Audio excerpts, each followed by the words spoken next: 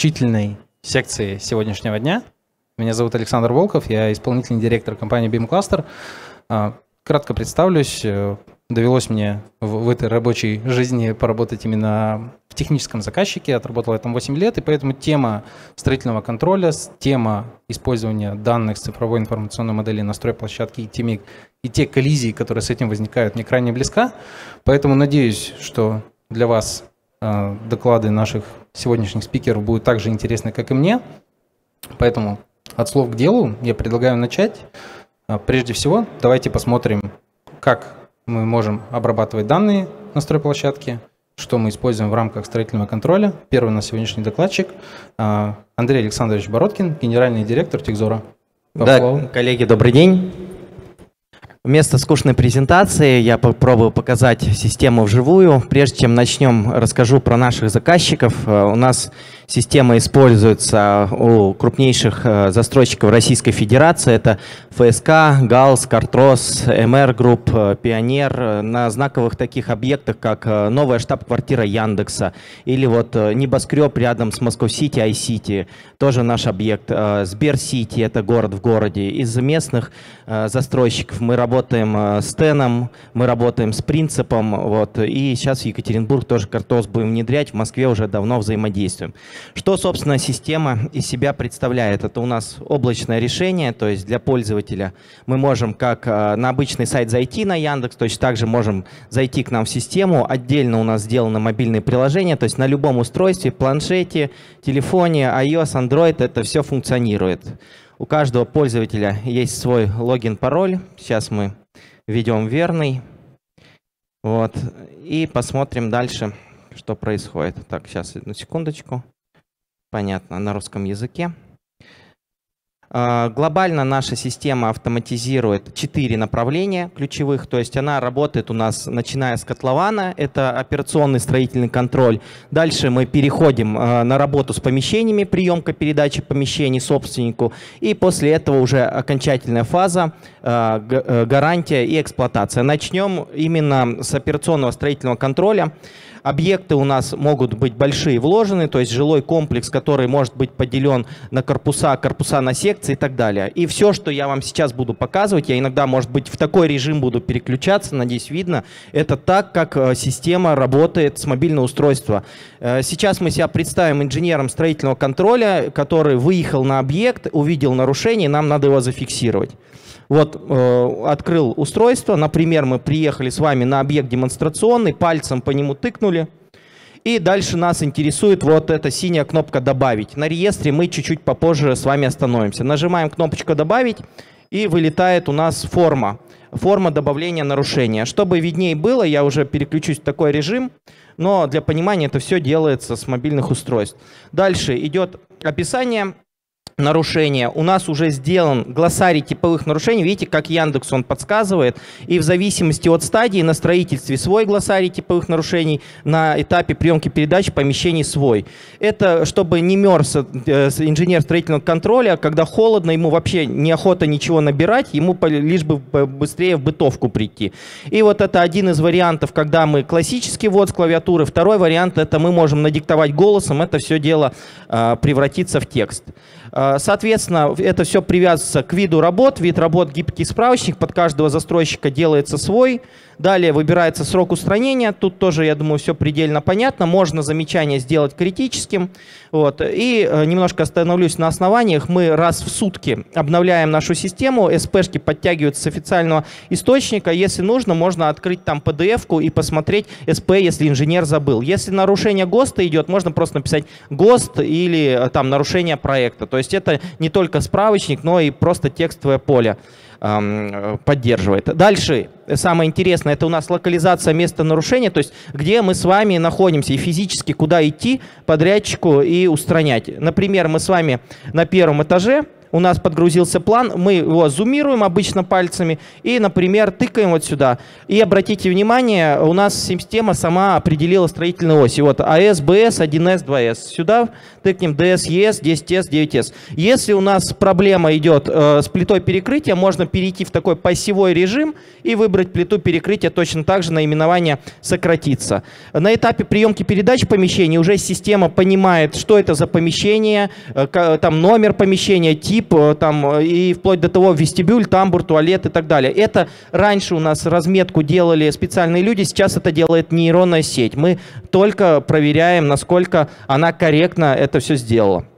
Далее, в зависимости от того, на каком объекте мы с вами находимся, на каком этаже и какой вид работ выбран, у нас система позволяет при помощи правил а, определять ответственного. То есть инженеру не надо думать, кто у него должен исправлять. Это особенно актуально на больших стройках. И далее у нас идет фотофиксация. Я здесь прикладываю. Понятно, это все делается в онлайн-режиме. Так, сейчас у меня только мой мобильный интернет немножко прогрузится. Да, отдельно скажу, все работает в офлайне. Нет интернета, э, мы в подвале, все это прекрасно э, функционирует без интернета. Можно там отметить, э, сохранить ну, такие приятные фишечки. Дальше мы сохраняем с вами нарушение, оно попадает в реестр нарушений. И у нас идет разветвление. То есть либо нам надо выдать документ какой-нибудь, предписание на устранение. Эм, я сейчас покажу давайте проверку зайдем. Можно экспортировать. У нас тут, правда, уже очень много нарушений за сегодня. Может быть, немножко долго это скачиваться будет, потому что каждое фото он генерирует. Но суть очень простая. У нас есть э, шаблоны различные, под каждого заказчика он будет свой. Вот у нас предписание сгенерировалось, и мы сейчас откроем, посмотрим. То есть это то, что раньше делали инженеры в ручном режиме, система сделала буквально за пару секунд. Увеличу чуть-чуть. Вот предписание, где мы с вами находимся, местоположение, точки, фото, физически распечатали, выдали, отдали, и это будет работать. Но мы с вами к автоматизации стремимся, поэтому в систему уже подключен субподрядчик, он может делегировать на конкретных исполнителей, ему придет пуш-уведомление, уведомление на электронную почту, он открыл, посмотрел, нарушение есть, есть, да, и это все дело э, берет в работу. Э, после того, как он это устранил, у него есть кнопочка «Официальный ответ». Тут можно и откомментировать, и там спросить что-то, и такое «Исправил». Да, и прикрепляет уже фото э, «Было-стало». Э, соответственно, такая вот функция. После этого он отправляет на проверки, и уже дальше это приходит создателю уведомления о том, что что-то изменилось. Он смотрит, было, стало, и дальше либо закрывает это все на устранено, либо отправляет к устранению. При этом мы храним всю историю э, изменений и нарушений. Можно посмотреть, как, кто, когда, что ее редактировал. Вот. Дальше мы перейдем с вами на реестр. Времени не, относительно мало, поэтому хочу самые интересные фишки показать реестр нарушений. Можно тут э, фильтровать, э, искать, то есть мусор, он это все найдет. Можно посмотреть по критичности, критично, не критично, просрочено, не просрочено. Также выгружать отдельные списки нарушений с изображениями, разбираться в бытовке.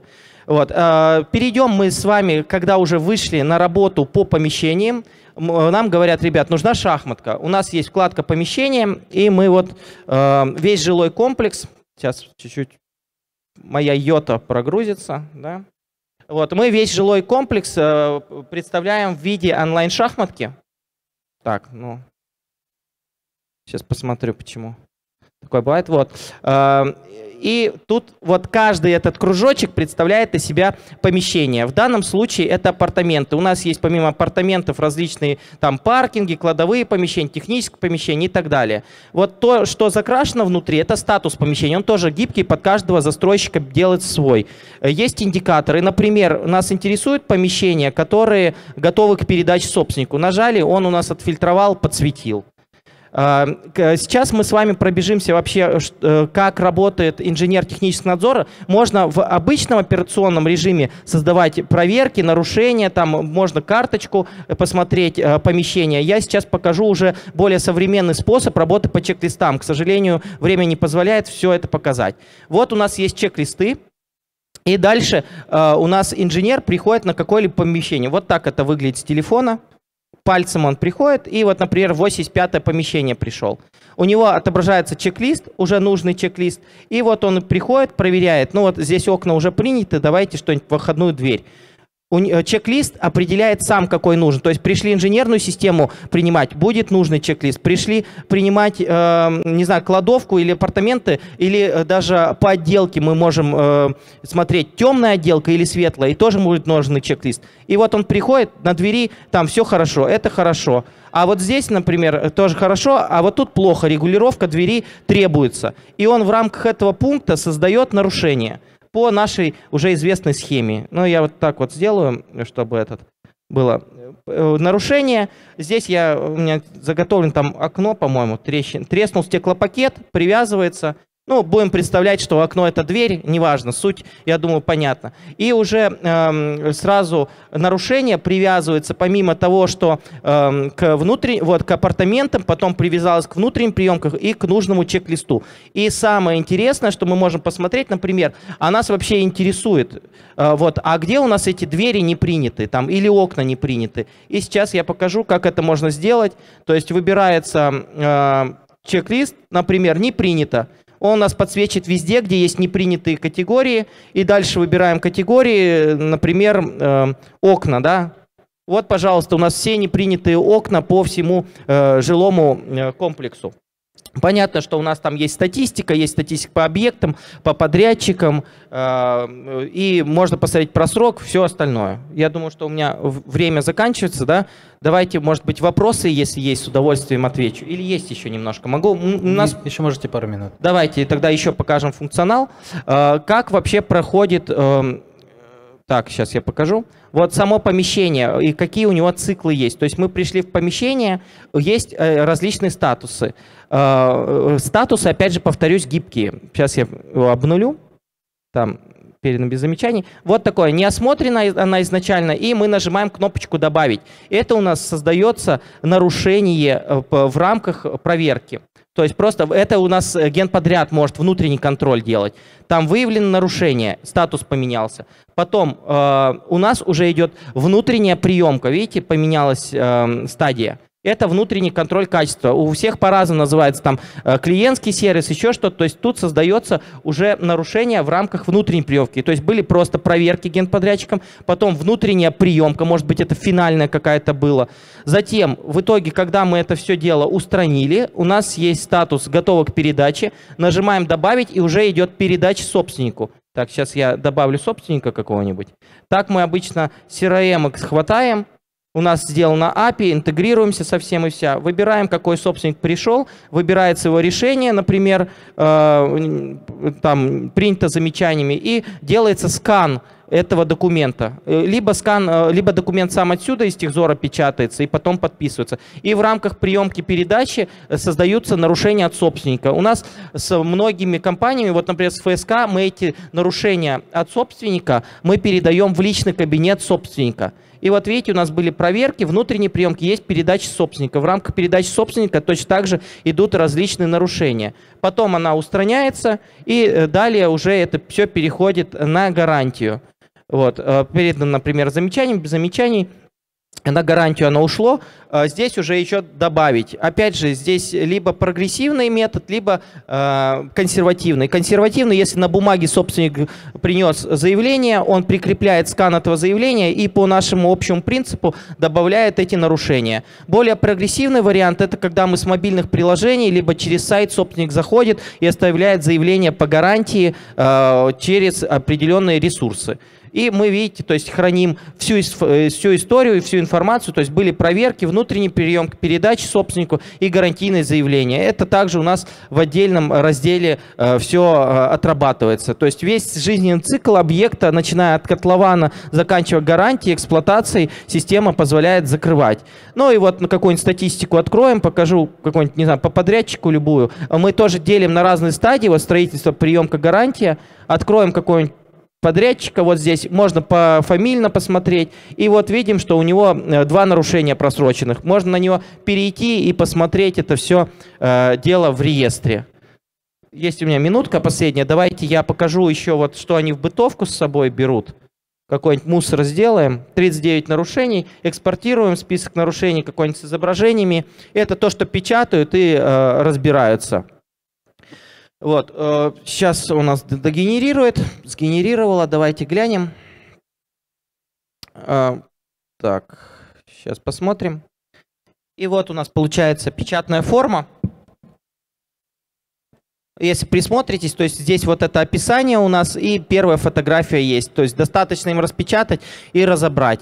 По э, ценовой политике тогда быстренько остановлюсь и будем заканчивать, как вообще происходит внедрение. Вот, э, я сразу отмечу, что все вот эти планы, этажи, чертежи, внедрение, это все занимаемся мы, мы полностью сопровождаем и даем э, уже рабочую систему. Не так, что бросили на самотек.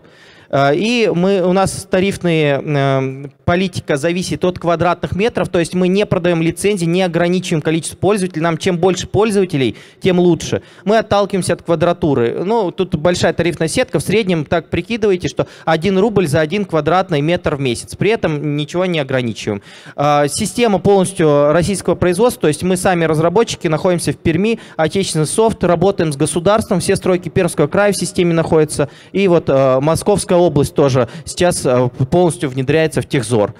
Все проверки проходим, никуда мы не денемся, э, система экономически эффективна, ну, наши заказчики, я думаю, подтвердят. И сейчас у нас, я похвастаюсь, все-таки это достижение, э, все наши пилоты, 100% наших пилотов перешли в фазу масштабирования. Поэтому нам главное продемонстрировать, отпилотировать, и уже с техзором уже сложно будет отказаться. Андрей Александрович, спасибо. Спасибо.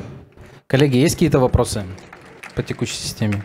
У меня, наверное, будет к вам один вопрос, раз вопросов нет. Э, то, что в систему у вас заведено, э, по сути, планы, э, по данным с модели работаете? То есть я увидел маркапы поверх PDF. Как да. они отправляются на устранение проектировщику, если есть какой-то, если есть какие-то огрехи именно при разработке Смотрите, документации? Да, по BIM у нас, конечно, много было задач и от Пионера, и от ФСК, но в связи с тем, что вообще непонятная ситуация с BIM, вот у вас тут Тимофей выступал несколько днями ранее. Вот. Мы с ним плотно взаимодействуем. Нам по БИМу пока сказали немножко притормозить, а так, конечно, мы из BIM 360 хотели забирать документацию, актуализировать, но на текущий момент это все происходит в таком полуручном режиме.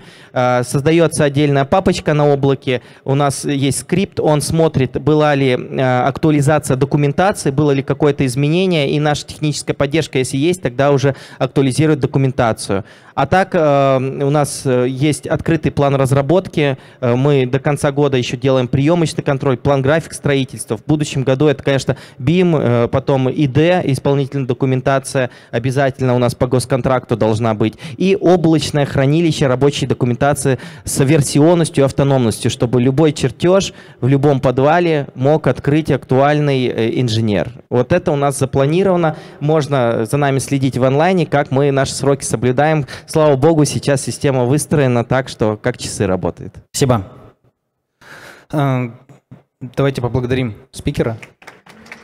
А, Спасибо. В любом случае, а, ни одна работа настройки с данными, будь то трехмерные данные модели, будь то плоская какая-то интерпретация в виде чертежей, она по сути невозможна, если как-то не идентифицировать те или иные объекты. Для того, чтобы их идентифицировать, применяется система классификаторов и классификаций.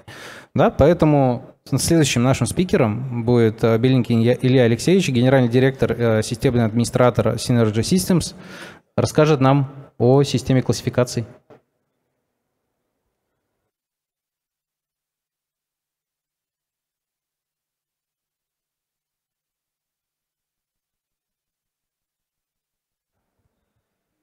Илья сразу сориентируй, давай в районе 15 минут, плюс-минус вопросы.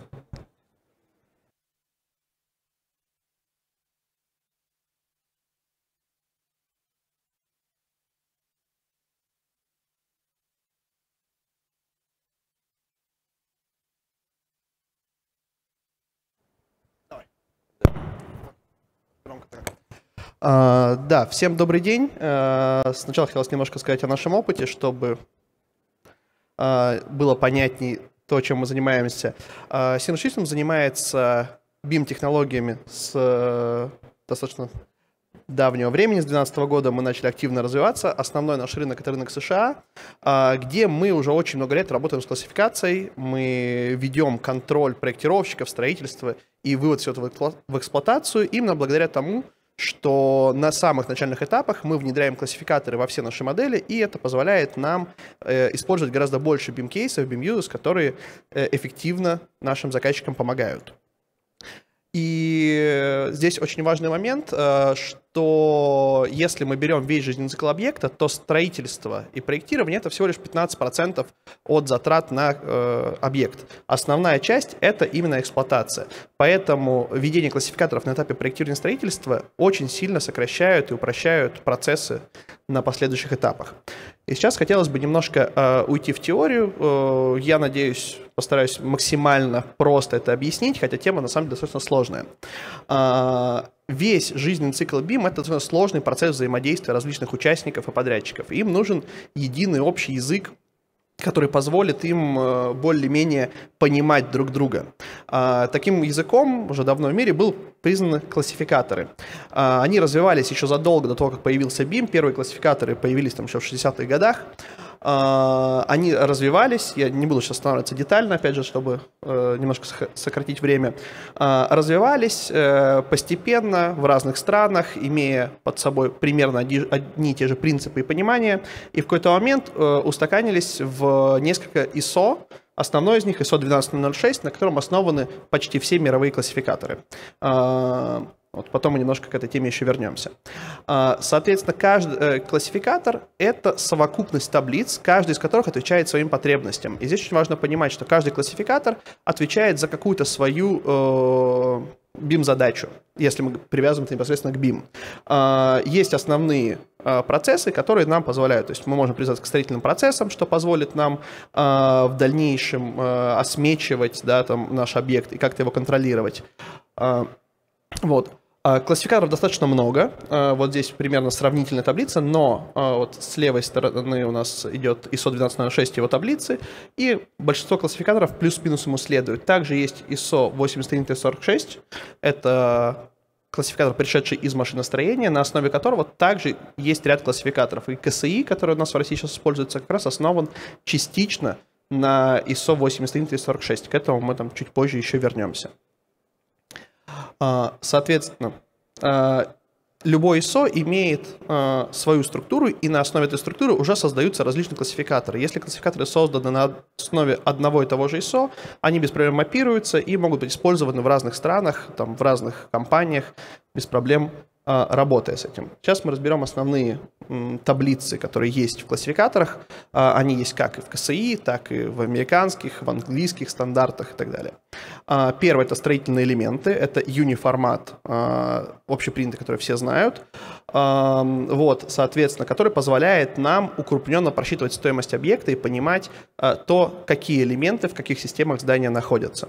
Вот, соответственно, что-то либо пролисталось. Секундочку. Либо это... Ладно. А, вот, также есть э, таблицы классификатора мастер-формат, которые позволяют отслеживать виды работ. И непосредственно тот умный класс, о котором все говорят, это сами элементы здания. А, соответственно, а, классификация на основе 8346 имеет в своей структуре основное отличие. Это то, что таблица как раз строительных элементов разбита на несколько частей. Это э, три отдельные таблицы. Вот тут они как раз видны сбоку. Не знаю, видно ли. Ладно. А, вот. А, что, э, в свою очередь, создает некоторую сложность в э, категоризации этого элемента и больше превращает наш классификатор в идентификатор. А, это также отражено в самом ISO, который непосредственно говорит, что используя классификаторы по 81346, вы должны дополнительно сослаться на 12006. А, вот. Опять же, основная структура классификатора создана именно для того, чтобы мы каталогизировали здания и могли работать с каждым элементом по одним и тем же принципам. Задавая классификатор, мы можем понять, какие параметры должны быть для этого элемента, как он будет существовать в процессе, э, какие с ним манипуляции могут производиться либо не производиться. Вот. Э, дальше мы видим как раз э, Э, мастер-формат. Это классификатор, который в Штатах используется в основном для осмечивания. У нас максимально близкий к нему это, наверное, КСР. Вот. Тоже построен на плюс-минус таких же принципах, э, который позволяет нам увидеть все виды работ э, и материалов, которые нам необходимы в здании. Как пример сквозного проникновения классификаторов, в Штатах есть отдельный сайт, Свитс каталог, в котором каждый производитель выкладывает свои материалы как раз по непосредственно по классификатору. Вы можете вбить номер классификатора и увидеть всех поставщиков данного оборудования, материалов, работ, которые будут в вашем регионе, и сразу их проанализировать. И это все, опять же, на основе единой структуры. А, вот, ISO 12006, а, опять же, э, вот э, основные наши три таблицы – 21, 22, 23 таблицу класса, которые позволяют нам 100% идентифицировать наш объект в пространстве, э, не в пространстве, в его э, основных характеристиках, свойствах и материалах. То есть то, что нам непосредственно нужно понимать. Остальные характеристики, аспекты местоположения все прочее являются уже атрибутами этих элементов. Вот, и опять же мы вернулись э, да. А, опять же, как я уже сказал ранее, что ISO 8046 это больше классификатор идентификации. Он достаточно сложный, фасетный, который позволяет нам по одной строке узнать абсолютно все об элементе. Но это достаточно сложно для человека понимать, читать данные параметры. А, и он используется, на мой взгляд, гораздо менее эффективно, чем на основе 12.06. А, классификаторы имеют свою структуру, то есть они не заполняются в конце проектирования, то, что очень часто происходит. Они имеют э, процесс, который э, э, непосредственно от начала проектирования, от самой концепции заполняется постепенно.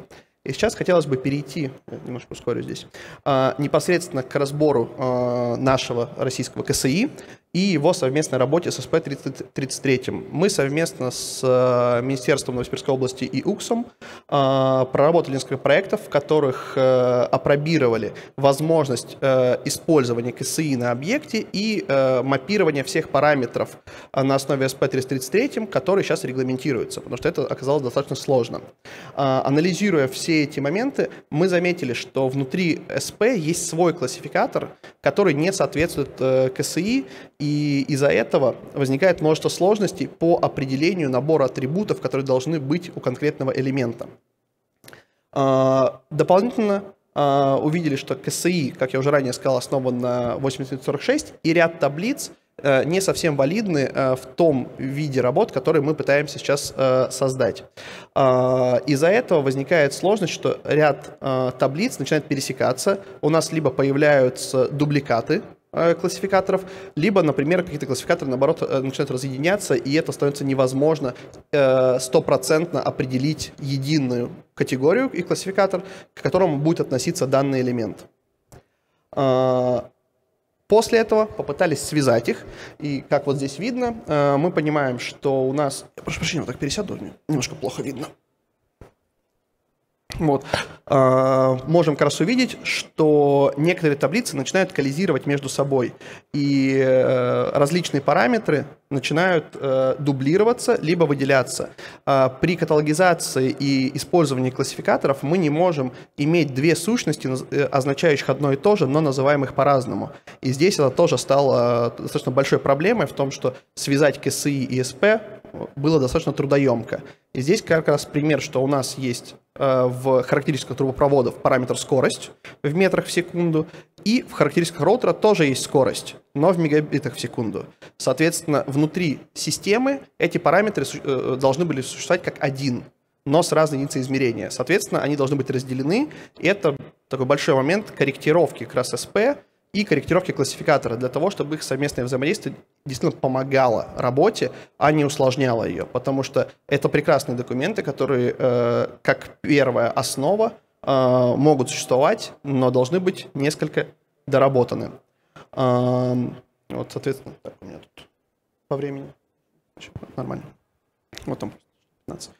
Вот, соответственно, также дополнительно бывают моменты, что ряд характеристик, которые СП требует, не имеет физической сущности. А, например, как характеристики бетона, которые абсолютно непонятно к чему прикреплять. Э, есть отдельные элементы, у них есть материал, но материал не физическая сущность. И это вызывает ряд сложностей и проблем, которые э, заставляют нас создавать дополнительные э, сторонние базы данных, которые также должны быть переданы заказчику, экспертизе, чтобы они могли это отследить и проверить. Э, для того, чтобы все это как-то свести, э, нам пришлось создать сначала каталог полностью всех параметров по SP333, который э, не дублировал ни один из параметров. Э, достаточно большая работа, которая определяет, что за параметр, где будет находиться, с какими характеристиками. Э, после этого мы произвели мапирование классификатора, внутреннего э, классификатора внутри SP333 с теми параметрами, которые должны быть э, для него признаны. Э, автоматически заполняя классификатор внутри модели, мы прогоняем э, плагины, которые заполня... э, назначают этим элементам необходимый набор атрибутов, который должен быть передан. Э, в итоге на маленьком объекте порядка 100 квадратных метров у нас получалось э, более 150 классификаторов и э, больше, если не ошибаюсь, 200 параметров, которые в сложной матрице пересекались. А, все эти матрицы были переданы проектировщикам, которые в течение месяца порядка их заполняли, а, так как э, объем информации, который нужно было воссоздать, он колоссален, и ни проектировщик ни разу всю эту информацию никуда не передавал. Она определялась на этапе рабочей документации, что-то определялось на стройке, но мы попытались воссоздать именно процесс, как он зарегламентирован сейчас нормами. Вот. И по итогу, что бы хотел сказать именно непосредственно про классификатор КСИ и SP333. А, это два хороших документа, которые действительно э, идут в правильном направлении, но требуют небольших корректировок. Э, мы прекрасно понимаем, что они были написаны в разное время, разными командами, э, вот, но если э, все-таки конструктивно подойти к этому, при небольшой корректировке СП и КСИ они действительно помогут э, всем проектировщикам, разработчикам и смогут вывести на абсолютно новую ступень уже э, BIM-индустрию и классификацию в России. Спасибо. Спасибо, Илья. Классно, красиво, но ничего не понятно, да? Есть вопросы? Пожалуйста.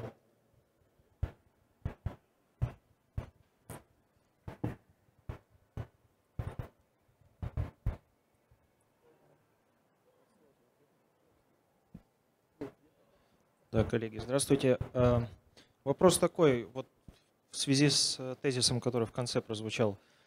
Э, если честно, вот я не очень верю в SP333 и в общий классификатор отраслевой. Вот, может быть, вы меня переубедите. Дело в том, что как бы классификатор имеет смысл, если понятно сценарий его использования. Вот. Если Э, просто на одном из последних проектов случился такой случай, когда говорят, э, модели не принимают, потому что не заполнен классификатор. Начинаем выяснять, классификатор состоит из полторы тысячи позиций. Я спрашиваю, как он используется? Никак. Ну, просто заполняем классификатор, потому что вроде как так принято, блин, в BIM. Вот. А, и поэтому, а, ну, как бы пока не сформулированы сценарии использования общие для всех игроков, и э, не имеет смысла общий классификатора.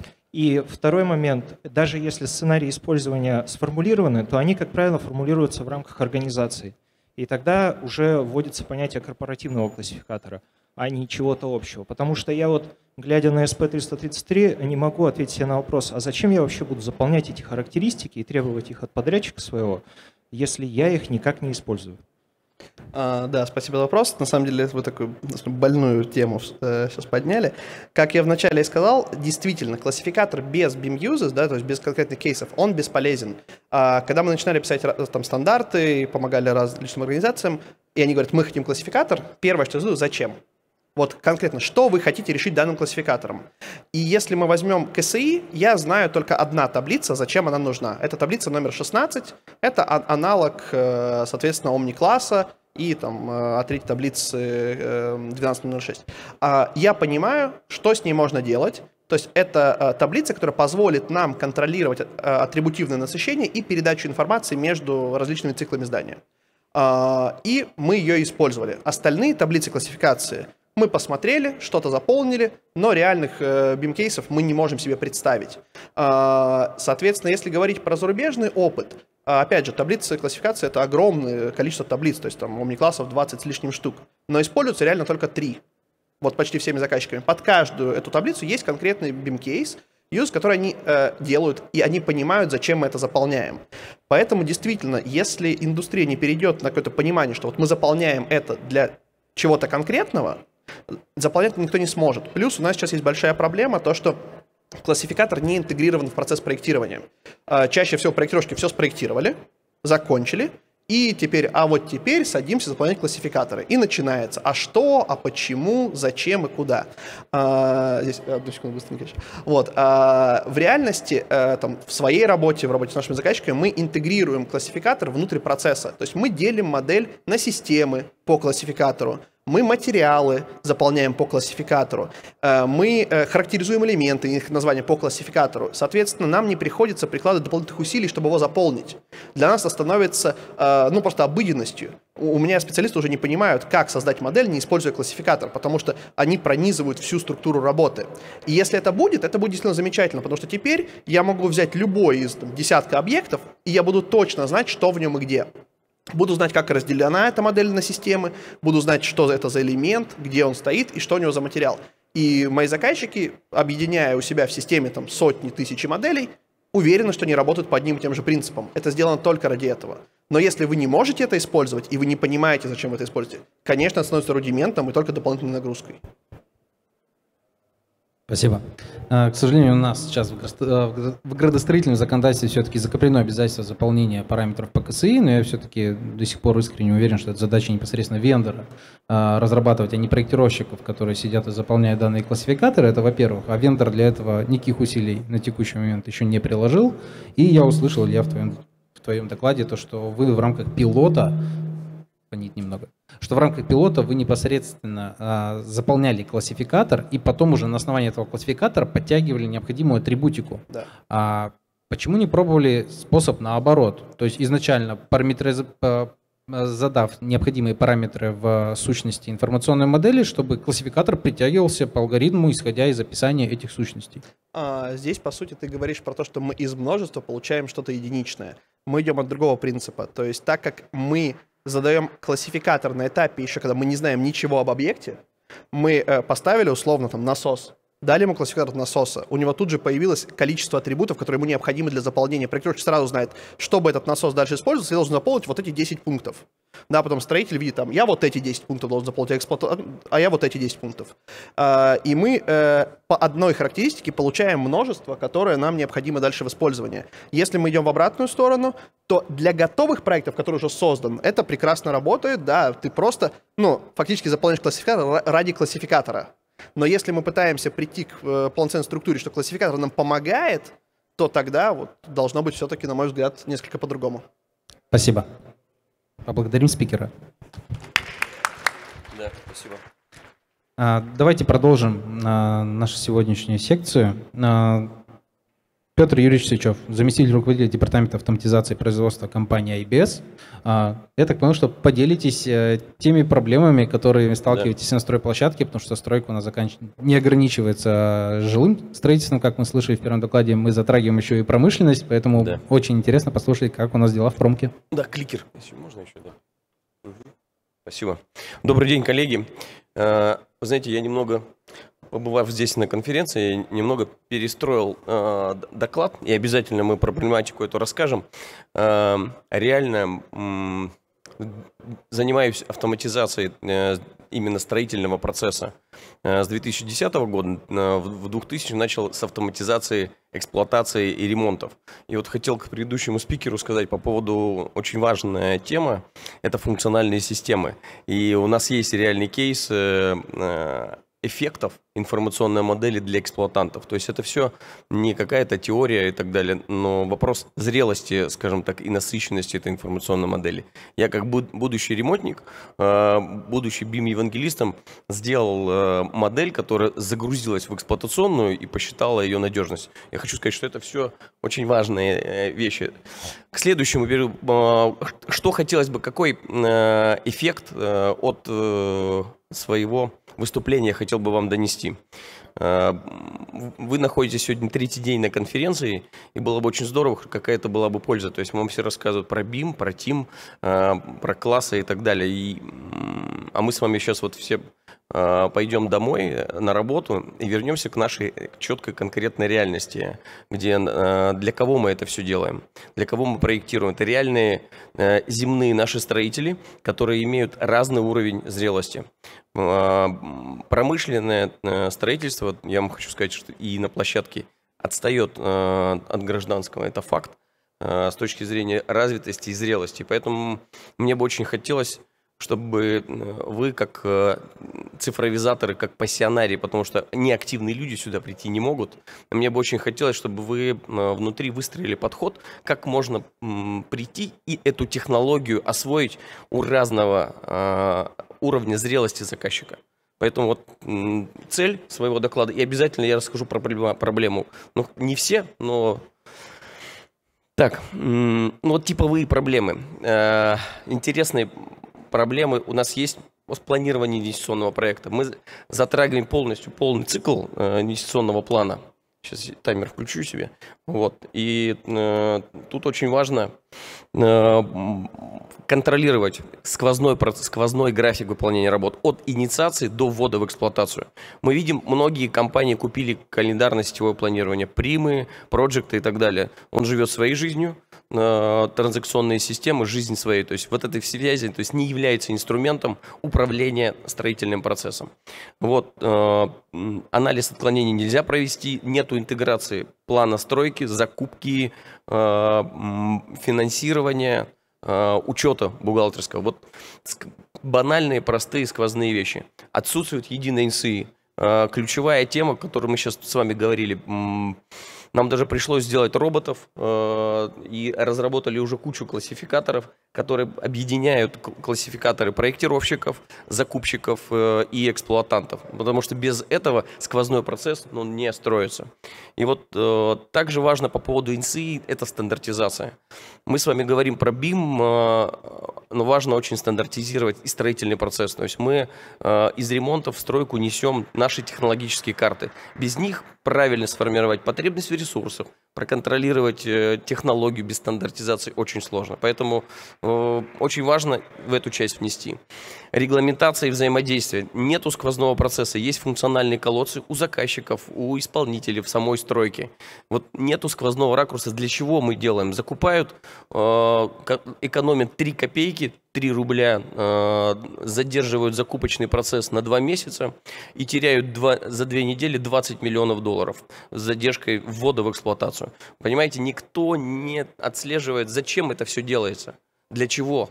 И поэтому вот очень важно эти процессы, э, скажем так, видеть. Вот управление э, строительно-монтажными работами – это вообще блок, который нам пришлось отдельно автоматизировать и дойти до дна, до конкретной площадки. Потому что сейчас вся эта цифра э, очень хорошо в проектировании. Мы видели с вами в первой части наших прекрасных BIM-евангелистов. Они создают ошеломительную информационную модель, но она приходит э, к Василию Валерьяновичу, у которого на столе даже компьютера нет, да, он приходит в виде двухмерного чертежа, на который он дальше строит. Ну, это такая реальность, понимаете? Поэтому вот нам бы хотелось, чтобы мы автоматизировали Василия Валерьяновича на площадке, выстроили вот этот информационный поток, и тогда это все взлетает. Поэтому и Василий Валерьянович на стройке тоже очень много проблем. Директивные сроки не управляют экономикой э, строительства. То есть почему много подрядных организаций, мы смотрели статистику, не, все на глаз управляют строительным процессом внизу. Поэтому они, извините, очень быстро банкротятся. Поэтому вот, ну, управление требованиями отдельная песня. Когда заказчик в процессе реализации меняет требования. Ну, вы все об этом слышали. Так вот, статистика наша пока 50% отклонений бюджетов инвестиционных лежит в, в ракурсе управления требованиями и изменениями. Вот, исходя из этого, хотелось бы предложить следующие э, этапы развития. Как к вам, вам стоит подходить э, к вашему, ну, к автоматизации? Это сделать первый этап базовой автоматизацией. Я не говорю цифра. Цифра меняет поток. Люди, давайте а, автоматизируем люди, э, именно сквозные процессы, единые справочники, базовый уровень автоматизации сквозного взаимодействия. После него на втором этапе можно применять, делать мэппинг э, наших классов, там, тех же э, справочников и вводить туда интеграцию с информационной моделью, моделировать технологический процесс. Но нет, нет сквозных процессов, эта модель превращается в красивую картинку. Поэтому идем последовательно. Сделали, культуру поменяли, потому что если вы сразу приходите э, к заказчику с красивой моделью, он говорит, здорово, да, у моего соседа тоже есть, давай нарисуй мне ее, Он будет в, бане, э, конечно, хвастаться, но бизнес-эффекта, value какого-то, пользы она не принесет. Поэтому вот, ну а третий этап – это VR, дроны наши, роботы, об этом вначале говорили, но это такой космос, извините, э, в реальности. Вот, а теперь хотелось бы сказать, э, из чего должен состоять джентльменский набор базовой автоматизации. То есть, чтобы вам начать с чего, что должно быть. Но это система календарности планирования, модуль, система, как угодно. Система управления инженерными данными. Это там, где мы храним, это единый единый источник проектно-сметной документации правды для всех. Видите, обратите внимание, это везде связи и интеграции, скажем так. Система управления строительным проектом. Это где наша работает с вами дирекция капитального строительства, проектный офис, где угодно, где у нас э, э, с вами интегрироваться должны заказы на закупку материалов, оборудования, пиры, строительно-монтажные работы. Обратите внимание на стрелку с левой стороны учетные и обеспечивающие системы. Вот это очень важная вещь, чтобы все документы или результаты операций всех, э, которые у нас выполняются в проектном офисе, были основанием для формирования первичных документов для наших дорогих бухгалтеров, для этих людей, которые являются людьми государства, но находятся в нашем контуре компании. Обязательно все любые должны быть заполняться первичными документами. Иначе система разойдется, бухгалтерия будет своей жизнью жить, стройка и площадка будет своей жизнью. И внизу, обратите внимание, система управления строительно-монтажными работами на площадке. Вот это тот э, уровень, который сейчас очень трудно. Он самый трудный. Мы приходим, э, недавно, э, через две недели еду в Лабытнанге, там будут, там конкретные люди, э, и у них именно проблемы с автоматизацией на площадке, потому что именно там основные потери, где расход ресурсов идет. Поэтому нужно там стандартизировать, планировать деятельностью, их развивать, тогда сквозной процесс у вас работает.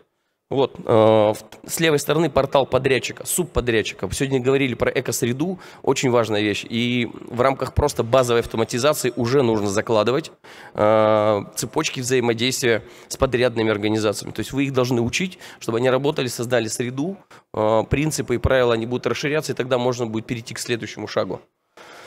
Ну вот, наверное, э, ключевые вещи, наверное, вот здесь, наверное, в этом достаточно. Ну, а на втором этапе уже можно приходить к цифровому активу. Да, единая НЦИ, да, проверка модели на соответствие классификаторам, э, да, формирование ведомости объемов работы из информационной, моделирование технологического процесса, закупка мы научились через информационную модель даже связывать закупочные спецификации, календарный график автоматически, потому что синхронизация закупки и э, стройки, обратная синхронизация сроков может обеспечить быть стройкой. Очень важно. 30% потери на стройке из-за отсутствия этой синхронизации.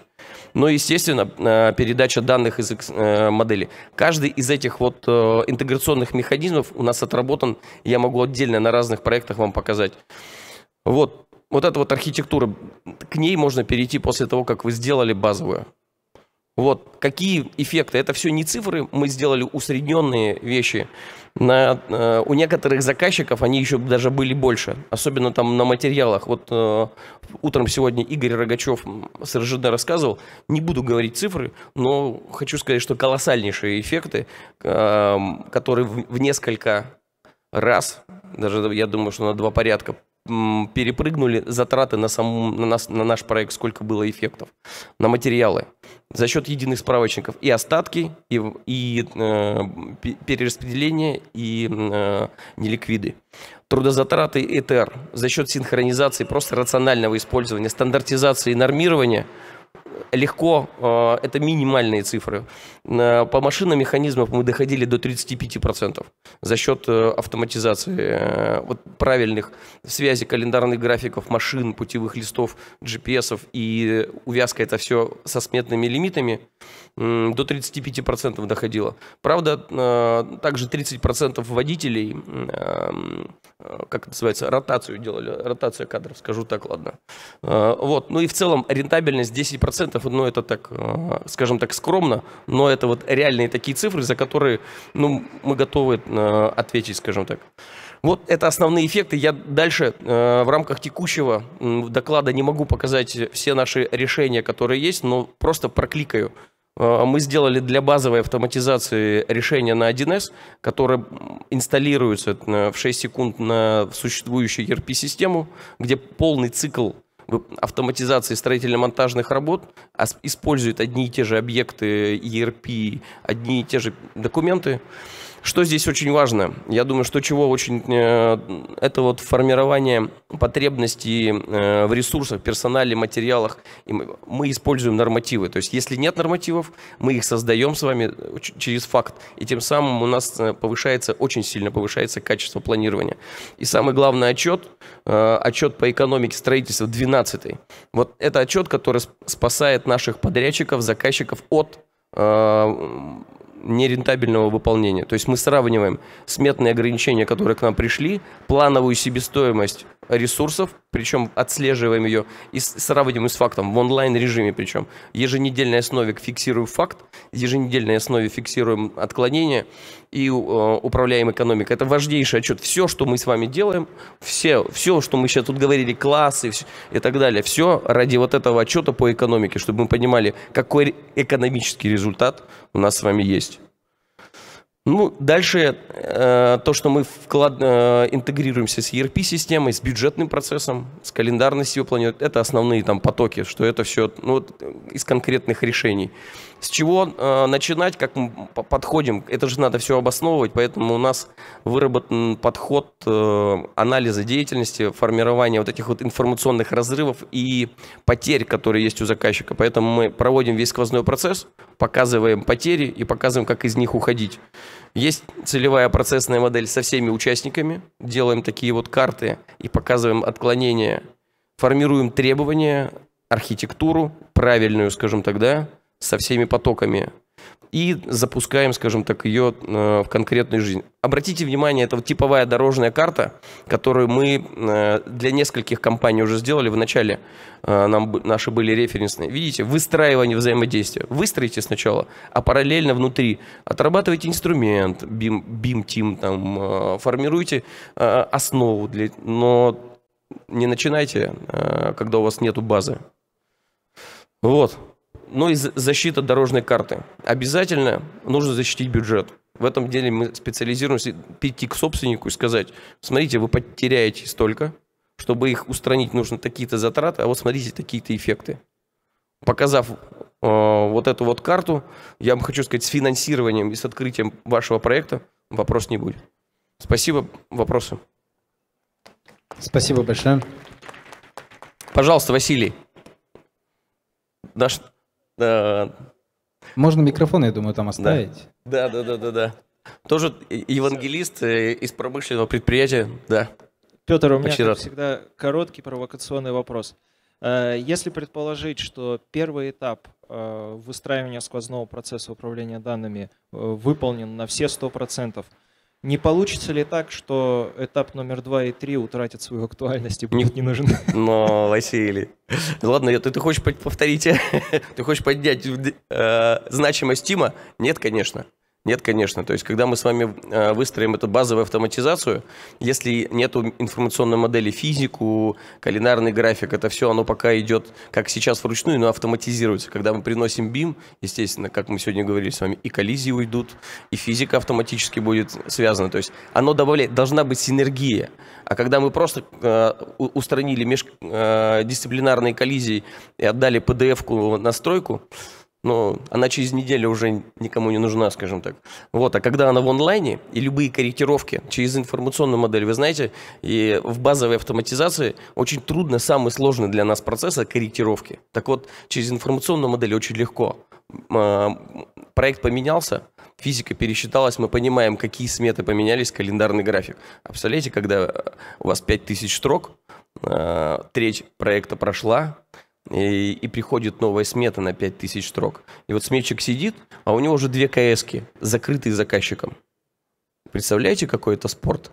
Соединить 5000 строк, вычленить тот физический объем, который был, и это все очень... Э, и поэтому инф, без информационной модели трудно. Поэтому, ну, выстроив ее, надо пройти этот шаг. И еще вторая часть культурная. Все-таки производственную культуру нужно поднимать. Без производственной культуры там сразу прийти с моделью, э, ну, вас этим люди на земле не поймут просто.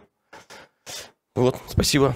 Петр Юрьевич, спасибо большое за ваш доклад. Угу. Для меня... Извините за эмоциональность, просто я сегодня так наслушался, а, я, а передо мной сидят люди из э, Лабытнанги, понимаете, я прям их вижу, вот я их знаю, я, и диссонанс большой, поэтому прошу прощения за эмоциональность еще раз. Это, наоборот, добавляет эмоций, добавляет интерактива с публикой. Наверное, у Василия Валерьевича на стройплощадке просто есть ограничение в виде 48-го ВСП, который декларирует, что ему нужно каждую бумажку со штампом принести в производство работ, поэтому у него нет ноутбука. Да? Вы донесли главную ценность, это преемственность данных информации, которая есть. Она важна в рамках любого процесса. Естественно, если где-то идет сбой, то дальнейшие все телодвижения, которые будут сделаны в рамках того или иного процесса, они уже не нужны. Рассмотрим идеальную ситуацию, что нам пришла, пришли идеальные данные, что мы их проверили, автоматизировали, убедились, что нет коллизии, убедились, что вся информация заполнена. Какими инструментами будем пользоваться? Я думаю, с нами сегодня поделится Захарова Юлия Анатольевна. Расскажет нам про валидацию информационных моделей и про тот опыт, который есть у них. Компания Скон. Всем добрый день. А, тема моего доклада – это взаимодействие участников строительного процесса в среде общих данных Pilot Beam. А, Pilot Beam — это продукт компании Ascon, которая разрабатывает уже более 30 лет инженерное программное обеспечение для машиностроения и строительства. А, если говорить про Pilot Beam, то при разработке этого продукта Ascon ставил перед собой следующие задачи. Во-первых, это навести порядок э, в данных э, по проекту, то есть чтобы э, у, каждого, у каждой строительной организации, проектной организации все данные по проекту, они хранились структурированно в каком-то едином информационном пространстве, а не на разных локальных компьютерах разных специалистов, не во вложениях в почте, не в мессенджерах, а именно в едином информационном пространстве. Во-вторых, это Использование универсальных форматов, которые могли бы помочь э, участникам э, строительного процесса обмениваться друг с другом э, данными, при этом, чтобы они не переживали о том, что данные где-то не откроются, что информация будет искажаться при обмене документацией. И в-третьих, это а, обеспечение а, участников строительного процесса инструментами для коллективной работы, то есть э, чтобы они могли коммуницировать, общаться по проектным решениям, согласовывать документацию и обмениваться друг с другом информационными моделями. И все эти задачи решает линейка решений Pilot. Поговорим э, наиболее подробно о самой старшей, наиболее полной, полноценной редакции это Pilot Beam, которая включает в себя весь функционал двух предыдущих редакций. А, Pilot Beam — это в первую очередь единое информационное пространство, и его единство этого пространства обеспечивается вот э, следующей архитектурой хранения данных. Есть э, единый сервер, на котором есть база данных. В этой базе данных хранятся абсолютно все данные по проекту, которые есть, все наработки, корпоративная информация, исходные файлы. А отдельные специалисты, проектировщики, они уже обращаются к этому серверу, то есть э, их локальные компьютеры, они являются как бы окошками в эту базу данных. И изменения, которые они производят с этой документацией, свои наработки, они сохраняют тоже на сервер, и таким образом обеспечивается то, что другой проектировщик, другой специалист, заказчик или подрядчик, он когда зайдет на этот сервер, обратится к нужным ему данным, он увидит именно самые последние актуальные наработки. А то же касается консолидированной модели, она тоже находится здесь, в среде общих данных, наряду с а, вот здесь на скриншоте архитектурные решения, СПЗУ. И э, таким образом консолидированная модель, которая собрана из разных частей, из разных дисциплин, она находится не только в распоряжении BIM-координатора, который может эту модель собирать, но и в распоряжении каждого участника, который имеет доступ э, к этой модели. А, это возможно у нас благодаря прекрасному универсальному формату AFC, который доставляет э, информацию из э, инструмента разработки в Pilot Beam. А, Pilot Beam уже из этого AFC файла берет информацию и собирает э, консолидированную BIM-модель. А, здесь э, важно сказать, что, а, с одной стороны, это, конечно, хорошо, когда у всех участников есть целая э, полностью модель, а с другой стороны, это может вылиться в такой минус, что если есть какая-то прям огромная модель, но я как проектировщик, например, работаю с определенным оборудованием, то а, загружать э, полностью всю модель на мою 3D-сцену будет не совсем рационально, не совсем рационально это будет использовать ресурсы моего компьютера, поэтому есть возможность выгружать только отдельные части модели, а к остальным обращаться в тот момент, когда мне нужно будет что-то о них узнать. А что касается 2D документов, то это а, любые редактируемые форматы. И а, когда уже доходит дело до коллективной работы, то есть когда я закончила работу с чертежом, мне нужно его отправить коллеге или заказчику, с кем-то его согласовать, то здесь на помощь приходят форматы фиксированной разметки. Это XPS, PDF, JPEG и другие форматы. То есть э, те форматы, которые выполняют функцию корректной передачи данных от меня тому, кому я хочу их передать, чтобы я не переживала, что, например, я отправлю чертеж, а у кого-то не загрузятся чертежи или не откроется этот чертеж. Вот. А XPS и XPS выделены жирным шрифтом, потому что в Pilot они а, ну, приоритет, приоритетно использовать их, потому что здесь у нас есть для них инструментарий для работы с этими форматами, то есть можно замечания оставлять и вести при этом параллельную работу с документами, то есть несколько специалистов могут одновременно с этим документом работать, согласовывать и так далее. А, все данные поместили в единую среду, теперь можно начинать с ними коллективную работу. И э, перед этим, конечно, нужно распределить права доступа, то есть кому-то дать только на просмотр, кому-то на просмотр и редактирование, можно ограничить э, срок действия этих прав доступа. И затем можно приступать к коллективной работе. А, если говорить о модели, то это визуальная экспертиза модели, когда мы можем использовать плоскости сечения, а, инструменты измерения, чтобы измерять конструктивные элементы отдельные, на модели, сохранять это все в точке взгляда, чтобы потом быстро перемещаться в нужный контекст и уже из него продолжать работу.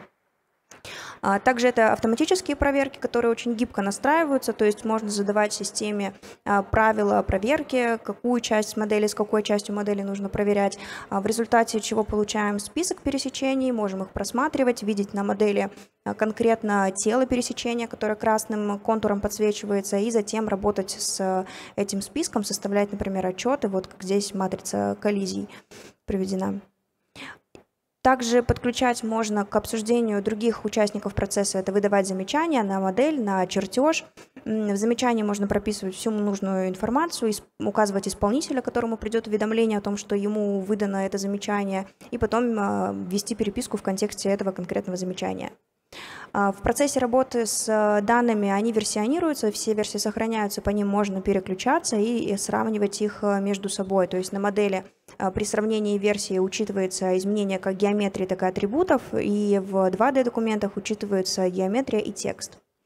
А, конечно, если я работаю в рамках одного документа, одного файла или раздела, как исполнитель, я могу э, иметь представление о том, на какой стадии он находится. Но если я какое-то контролирующее лицо, мне я задаюсь вопросами о том, а, что в целом происходит с проектом. Я должна следить за многими данными э, в рамках этого проекта, и для того, чтобы отвечать себе на эти вопросы, я использую функционал заданий. Это либо простые задачи, либо многоэтапные процессы, э, которые можно сохранять также в шаблоны и потом очень быстро запускать. Этапы при этом автоматически, этапы запущенного процесса сложного автоматически друг друга сами сменяют, и я могу только в журнале заданий вот таком наблюдать за статусами, за сроками. Вот, например, красным вы выделены сроки, которые уже подгорают и на которые нужно обратить внимание. И таким образом контролирую ход выполнения отдельных процессов. Ну а как э, исполнитель, конечно, могу использовать журнал заданий, чтобы просто оптимизировать свой рабочий день и приоритизировать какие-то задачи. А, также могу подписаться на изменение каких-то отдельных файлов, чтобы быть в курсе э, актуального состояния этих файлов – а если мы говорим о взаимодействии, важно сказать про переписку в Pilot. Она есть как в привязке к отдельному файлу, заданию, так и без привязки к какому-то элементу, просто по отдельному вопросу. А недавно вот у нас появились голосовые сообщения, теперь можно записывать. А, также могу строить отчеты по любым срезам информации, по исполнительской дисциплине или по проектной какой-то информации. И в конце, конечно, документы нужно согласовывать, поэтому для этой задачи а, Pilot BIM поддерживает электронные подписи, как а, усиленные квалифицированные, так и неквалифицированные. И в а, конечном счете мне нужно обмениваться документацией с заказчиками, подрядчиками. Это я могу делать в бумажном виде или в электронном. И если это бумажный вид, то я могу сразу целый проект отправить на пакетную печать и система автоматически раскидает разные листы разных форматов по нужным принтерам заранее заданными настройками. А, если говорить об этапе строительства и эксплуатации, то здесь э, приходит на помощь функционал Pilot Beam Camera, когда мы э, делаем фотографии на объекте с помощью специального приложения, и потом эти фотографии привязываются к определенной точке 3D-пространства модели, и поэтому я не бываю ни разу на строительной площадке или на эксплуатирующемся уже объекте, но если у меня есть доступ к модели, я могу просмотреть, что происходит в реальности и как это было заложено при проектировании модели. Из этой же серии облако точек, когда я могу модель сравнить в окружающей местности, в городском ландшафте, как она будет выглядеть. А, а, обобщая, а, хочу сказать, что среда общих данных PilotBeam, она не только объединяет данными, но объединяет всех участников строительства и позволяет выстраивать коллективную работу с ними и управлять этой коллективной работой. Подробнее можно прочитать в каталоге по этому QR-коду или можете подойти на стенд, который находится вот прям совсем рядом, вон там, где Ренга, там и мы за стеночкой, вот, и поговорить еще о чем-нибудь. Следующая тема Расскажу коротко про Pilot Cloud. Она не имеет прямого отношения именно к коммуникации, к взаимодействию, но имеет прямое отношение к цифровизации строительных процессов. А, Pilot Cloud — это облачная платформа для создания собственных BIM-решений. По сути, это аналог Autodesk Forge. А, знаете про Autodesk Forge? Поднимите руки, кто знает. Нет. А, в общем, э, это платформа, которая позволяет э, разработать э, самостоятельные расширения и потом использовать их в процессах информационного моделирования. Вот. И хорошая новость еще и в том, что API Pilot Cloud максимально сопоставима с API Autodesk Forge, то есть простыми словами а Pilot Cloud мы сделали максимально дружественным а, к Forge расширениям, чтобы можно было их мигрировать с Forge на платформу Pilot Cloud и продолжать использовать в своих, в своих строительных проектах. А, сейчас он находится еще в разработке, но мы уже предоставляем Pilot Cloud для а, практического ознакомления и сбора обратной связи, поэтому если вдруг э, о миграции решений с Forge на какой-то российский аналог задумывались, то вот предлагаю посмотреть, обратить внимание на Pilot Cloud. А, чуть более к практического вопроса коснемся. Если отвечать на вопрос, для кого решение Pilot, то ответ вот на, для, и для гражданского, и для промышленного строительства примеры нескольких заказчиков, которые используют э, системы Pilot. И э, по конкретным примерам, э, один из них это э, Центральный э, проектно-технологический институт, который собирал ускоритель частиц в Pilot Beam. Характеристики видите на слайде. Вот так он примерно выглядел в Pilot Beam, собранная консолидированная модель, и над ней вот велась совместная коллективная работа. Еще один проект э, этого же заказчика – это модернизация теплоэлектростанции в Северске. Эм, здесь же в этом же проекте коллеги из этого института из файла AFC вытаскивали каким-то образом информацию и формировали на основе этой информации ведомости, ведомости э, и спецификации. И еще один пример – некоммерческий образовательный проект, э, курс BIM Management. Организаторов видите на слайде – Участники этого курса обучались различным дисциплинам по а, технологии информационного моделирования. В системе Pilot Beam велась э, коллективная работа внутри э, каждой команды, собирались данные, выстраивались задания, процессы, и каждая команда также разрабатывала цифровой макет зданий и сооружений либо Нижнего Новгорода, либо Екатеринбурга. Всего было разработано около 500 цифровых макетов, но они работали в разных инструментах разработки, разрабатывали, а потом в Pilot Beam это все загружали, и в конце этого курса, который длился, по-моему, около полугода, а, собрали цифровой макет Нижнего Новгорода. Ну и на основе этого проекта можно сделать вывод о том, что Pilot Beam такие масштабные проекты а, полностью вывозит и подходит для них. А на этом у нас все. У меня все. Можете задавать вопросы, подходить Ирина на стенд. Спасибо. Вопросы будут какие-то? Ну, тогда у меня бы, наверное, будут вопросы. А, тот же самый вопрос, что был к первому спикеру. Я увидел у вас маркапы непосредственно к плоской документации. Есть ли какие-то маркапы, привязанные к трехмерным данным, раз э, у вас такая система?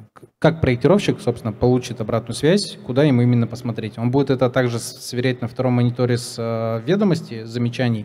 Или у него будет э, какой-то свитчбэк обратно в его среду разработки, где он может это поправить, либо увидеть привязки там э, по гуидам, по еще каким-то уникальным цифрам. А, вы говорите о модели, то есть э, когда идет работа над моделью, нужно откорректировать именно модель, указать на конкретное место на модели, да? Нет, в рамках вашей системы, если приходят какие-то замечания к документации, приходят замечания к модели, привязка этих замечаний к конкретному месту в среде разработки, как она передается проектировщику, чтобы упростить его задачу. В противном случае мы получаем плоский отчет, на основании которого потом уже в среде разработки разбираемся где как.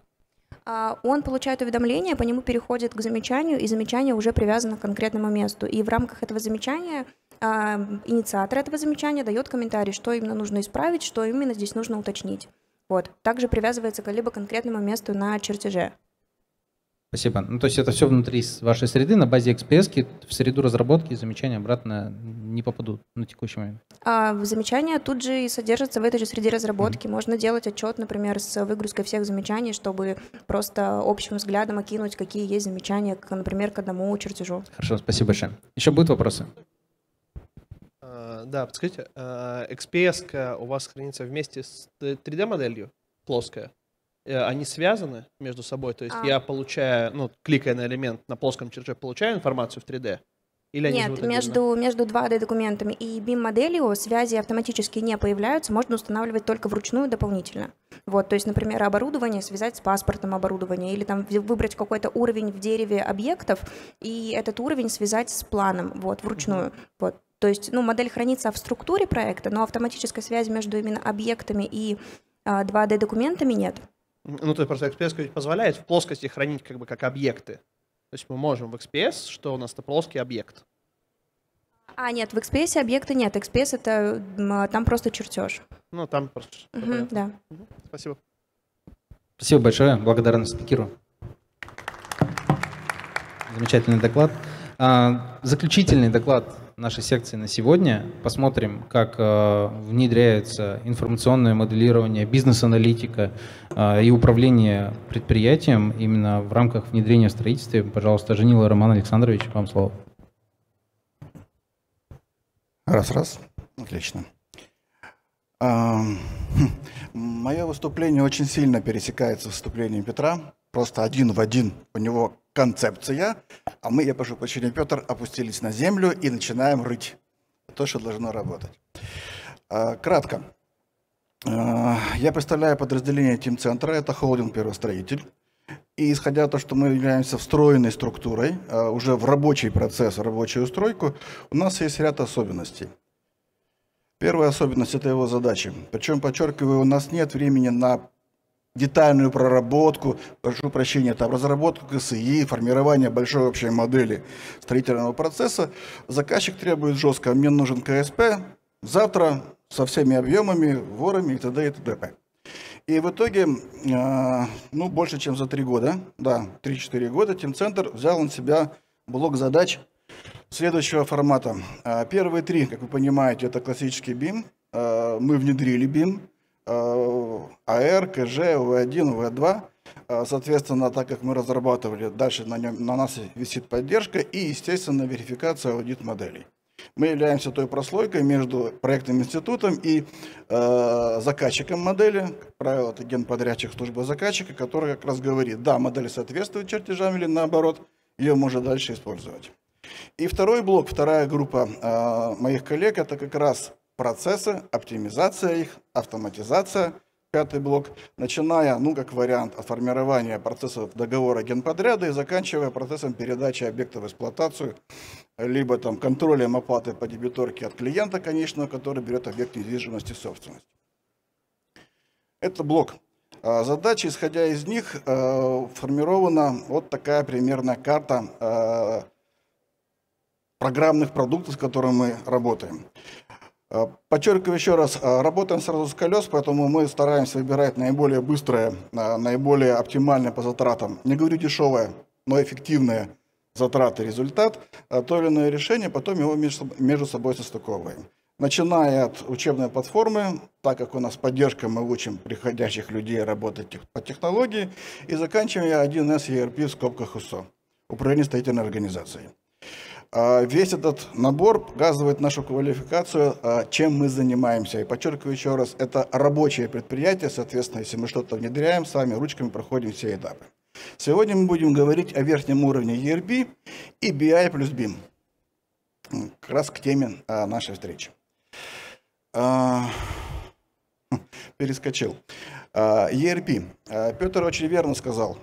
И, э, честно говоря, у нас э, в двух группах, которые занимаются бимами, которые занимаются автоматизацией процессов, э, всегда было ощущение, там бим это, прошу прощения, коллеги, это космос, какие-то модели, какие-то чертежи, а в итоге, когда доходишь до конкретного прораба линейщика, да, как это все превращается и куда?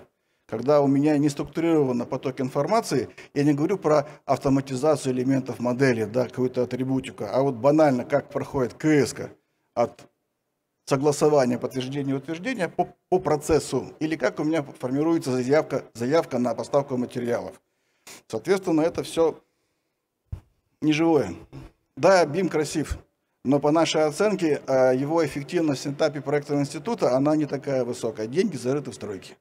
И вот когда мы э, эту модель передаем уже службу заказчика, сметчика, ли, линии, вот тогда начинается отбивка денег. Вот тогда начиная экономить сроки, экономить, э, ну, снижать сроки, экономить деньги. Там деньги.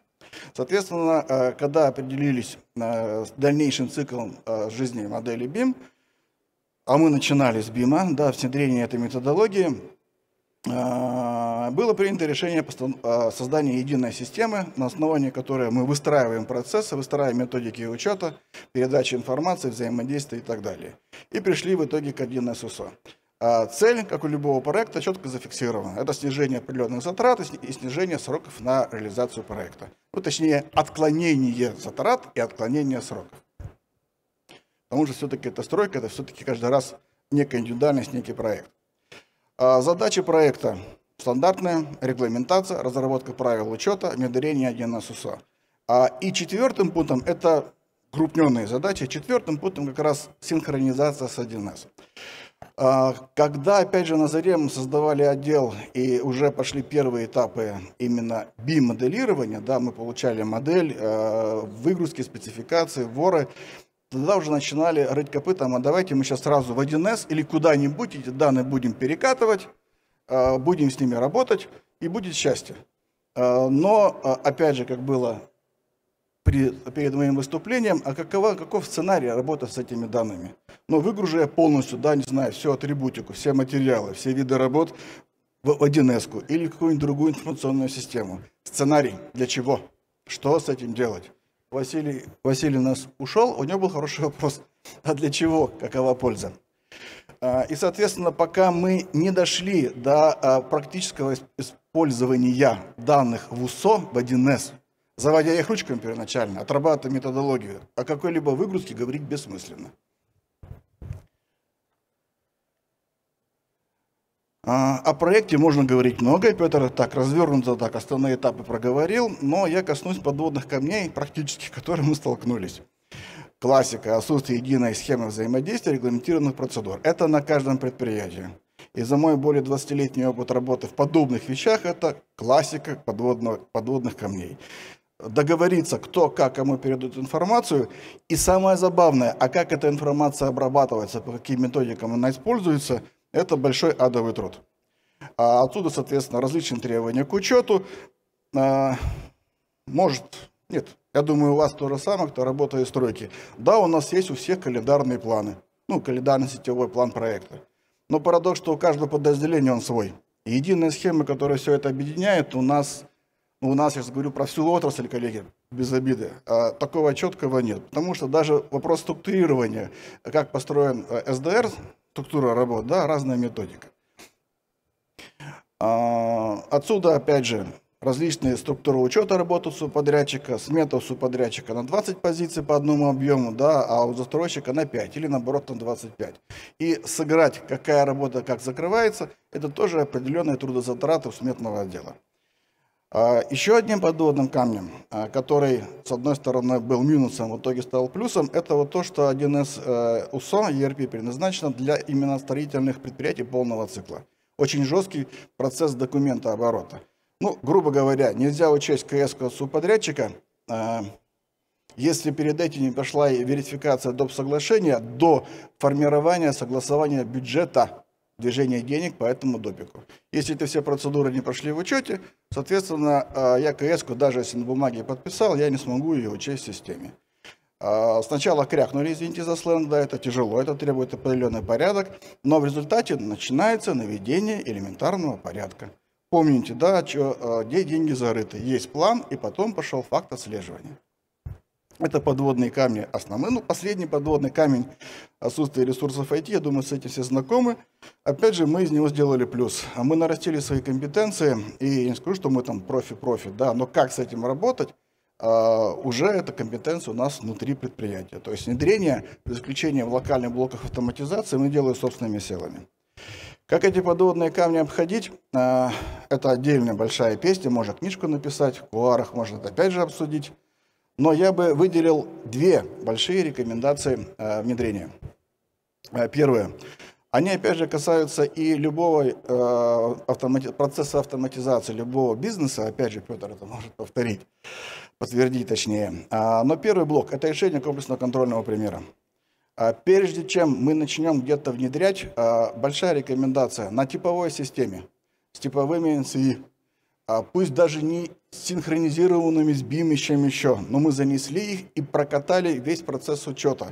От, подчеркиваю, там, создания договора и э, заканчивая актом передачи, учетом заработной платы э, или там учетом затрат на опалубку, да, как она должна лечь у меня между объектами. Когда мы это решаем в демо-режиме, нам, у нас на это ушел месяц, потому что там же идет согласование методик, мы получаем три результата. Формализация границы учет, э, доработки если они возникают, четкие требования. И самое главное, методология учета. Как, с какой аналитикой, какая глубина видов работ, э, какие должны быть единицы измерения, и в том числе будущий э, сценарий использования КСИ, если они у нас возникают. А второй блок – разбивка проекта на отдельные автономные блоки. А, из практики. А, проекты тогда, когда мы полностью описываем всю карту маршрута, опять же, о чем показывал Петр, а, и потом это все внедряем, год-два, а бизнес не стоит. Напоминаю, мы подразделение в рабочем бизнесе, поэтому мы проект разбиваем на куски с локальным запуском. Отработали схему снабжения? Да, у нас нет, к примеру, пока, исходя из графика строительства, плана снабжения ТМЦ но факт я могу уже учитывать, начиная с заявок. Я это запустил. Отработали схему календарного планирования и учета факта подрядчика. Э, запустили. И так по блокам начинается работа. Э, то бишь не ждем большую зеленую кнопку, а начинаем запускать поэтапно, уже получая определенные успехи, определенные результаты. А результатом здесь будет являться отчетность да, для принятия решения. Про большую базовую типа там баланс или финансовый результат по проекту, это там само собой.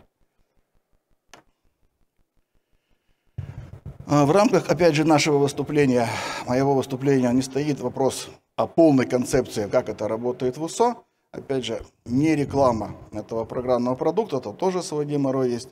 Я хотел, хотел обратить внимание на левый край. Формирование BIM-модели. Потом пошла вся цепочка. Из BIM, это мы так хотели. Из BIM мы получаем а, данные для а, контрольной точки. Из BIM мы получаем планируемую физику. А в итоге правый край, да, анализ план-факта. Без анализа план-факта ничего работать не будет. Вот в анализе принятия управленческого решения зарыты деньги. А, хороший слайд, 10% рентабельности, все остальное. Замечательно. Это когда у меня каждый руководитель на своем уровне от снабжения, линии, сметчиков, руководитель договорного отдела получает данные системы и принимает решения. И тогда возникает эффект по материалам и так далее, и так далее. Всегда есть одна прослойка человек между компьютером и управленческим решением. А, гордость. Это реальная гордость. Проект начался в том году, в конце того года. А, я в рамках, соответственно, конфиденциальности не вытаскиваю скрины живых отчетов по финансам, но мы внедрили снабжение с огрехами, мы внедрили ключевое в стройке, это КСП, календарно-сетевое планирование. А мы наконец-то добились, а, что у нас есть единая структура плана на всех разделах. А, проектирование, план подготовки проекта, то, что делает инвестпроект, это другая песня, это другой план, но он тоже здесь частично интегрируется. Здесь мы работаем ну, в другом программном продукте. А у нас, соответственно, появились планы, единая структура для всего объекта. А у нас появились а, в двухнедельном максимум месячном режиме. Это оперативная отчетность о физике, состояние, на каком этапе, да, внутренняя приемка, внешняя приемка, приемка субподрядчика и так далее. Я опять же показываю, показываю только физически, это живые отчеты. Ну, естественно, у нас появились нормальные оперативные отчеты. Тут месячная оперативность. Это о, о работе субподрядчика. План, факт, отклонение, физика, деньги, затраты. И вот тут мы подходим к ключевой мысли. А, эволюция анализа данных. А, повестка-то сегодняшняя BIM, BI, ERP. Где BIM? Когда мы только реализуем два блока, которые по центру, BI и USO ERP, я могу потом говорить о каком-то сводном анализе, выгрузке данных, их агрегировании, обработке, получении некой красивой картинки. Нам очень часто показывали, я не помню, какой-то программный продукт, когда-то красиво строится домик виртуально, да, исходя из графика проекта. Красота. Но это, извините, только, наверное, для главного-главного заказчика и инвестора. А, нам такого, ну, пока, наверное, не надо. А вот а, насколько мы отклоняемся от данных по БИМу, я заложено было 250 условно кубов да, на тот объем работ, а почему-то через все допики у нас появилось 270, и, соответственно, откуда отклонение. Это нам нужно разобраться. Так вот, пока мы не сделаем центральный BI и USO ERP, а, сводный анализ невозможен. Космос с Землей не будет соединен. Повторяю мысль Петра. Сначала первый уровень автоматизации – в том числе с бухгалтерским учетом, про это тоже можно долго говорить. А потом у меня уже сочетается это с внедрением BIM как такового. А, что такое BI в нашем понимании? А, опять же, напоминаю, мы а, берем максимально эффективные решения, то есть с минимальным затрат максимальный результат. Пока шел проект внедрения ERP, в том числе у нас отрабатывалась система сбора данных или там сформирование некой единой базы по модели – Metabase BI собирает данные из э, Revit Archicad, складывает в определенную а, базу. А, по заложенным алгоритмам происходит та же самое категорирование этой базы. Присваиваются дополни, дополнительные атрибуты а, по прямому назначению или косвенному анализу. В итоге мы получаем данные в одном месте по объему, материалам, типам элементов, в том числе сколько раз пользователи работали в системе, какие были результаты аудита, массив. Из этого массива опять же, это отдельный, возможно, разговор в кулуарах или отдельное обсуждение, а мы выдаем а, воры, тэпы, сравнение версий, отклонение почему, что произошло, то бишь то, что уже переходит непосредственно к заказчику. Заказчик, сменщик, служба заказчика, а, линейщики генподрядчика не работают с ревитом и архикадом. И не работают с каким-либо другим там инжиниринговым программным продуктом. Через веб-морду, веб-портал по настроенной форме мы получаем выгрузки. По мере прохождения этапности или жизненного цикла модели. Да, есть первая версия, к примеру, КЖ, получили выгрузку, зафиксировали ее статус или ее версию, и я могу уже еще до сдачи раздела э, комплекта уже в службу заказчика, я могу уже анализировать информацию. А, ключевое, мы научились собирать данные из БИМа, обрабатывать по необходимым нам требованиям. В том формате, с той атрибутикой, которая нам, опять же, необходима. И вот когда у нас появился BIM, BI, назовем его так, когда у нас отработано сценарии э, работы в ERP, вот тогда мы переходим на синхронизацию BIM и USO. Напоминаю, три года назад давайте будем выгружать и передавать все это строительство. Подчеркиваю еще раз, научиться работать с данными, научиться отрабатывать, э, как данные должны уже в предметной области, в стройке э, обрабатываться и работать. А что синхронизируется? Понятно, что физические данные объекта, а в левом, ну, дойдем дальше. Результат синхронизации. Опять же, мы стараемся не выдумывать паровоз или велосипед, ищем э, на рынке те или иные предложения, потом адаптируем под себя. Э, как правило, то, что говорится о выгрузках из БИМа в 1С какое-либо решение, это почему-то всегда спецификации либо сметы. Все. А, особенность нашего бизнеса. А, нам нужно сразу получать выгрузку а, структуры декомпозированных работ в календарно-сетевом плане проекта. Так называемый сценарий. Соответственно, результат синхронизации мы перепрыгиваем сметы, потому что есть много вещей из смет, которые мы выкидываем в учете. Да, и сразу создаем сценарий. Вторая особенность, то есть не смета. Вторая э, особенность. Э, Опять же, как правило, предлагают данные брать из BIM, Revit, Archicad, через IFC, не суть, и э, запуливать в 1С. Мы пошли изначально по пути, что мы берем из BI некой промежуточной точки. Зачем? Мы на промежуточной точке делаем верификацию, проверку и так далее, да, выстраиваем свою структуру данных. Ее обработанную по определенному алгоритму мы потом запуливаем в 1С. Алгоритм описан, соответственно, как пример, вот часть алгоритма в таблице в э, правом нижнем углу. Это в том числе те пресловутые шаблоны, которые нам необходимо получить. Две э, минуты. Да. И а, в итоге еще важно учитывать версионность. А, данная методика, а, как мы говорим, на спичках отработана, а, то бишь руками заносилась, проверялась выгрузки-загрузки, и на текущем этапе у нас с нашим партнером компании Ericas происходит уже настройка кода. Да, тем, что к концу, началу, к концу этого года, началу следующего, у меня данный алгоритм перешел в продуктив. И тогда мы будем готовы обмениваться опытом, а как оно физически реально работает. Резюме Повторюсь за Петром, повторюсь, опять же, это у нас очень идет рефреном. Сначала основные процессы, основной учет. Параллельно можно выстраивать BIM, но эффект, когда это все дошло до точки соединения. Просто разработка BIM на, для строительного, строительной компании – это, ну, наверное, некая эффективность, скорость при разработке документации. А экономический эффект, когда это все переходит в стройку. Спасибо за время. Спасибо. Будут вопросы? Лес рук. А, видимо, уже все устали. А, благодарю вас за доклад, крайне полезно. Ждем первого а, ревью по вашей продуктовой теме, первых кейсов, возможно, на следующей секции, на следующем форуме, возможно, отдельно как-то удастся повзаимодействовать. Со своей стороны, есть, да, пара слов?